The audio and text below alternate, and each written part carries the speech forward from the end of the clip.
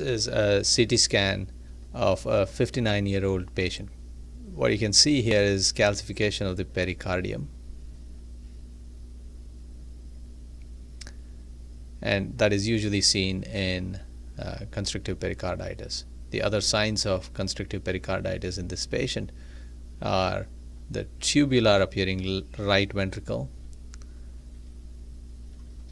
You can also see that the interventricular septum is flattened, which is another sign of constrictive pericarditis.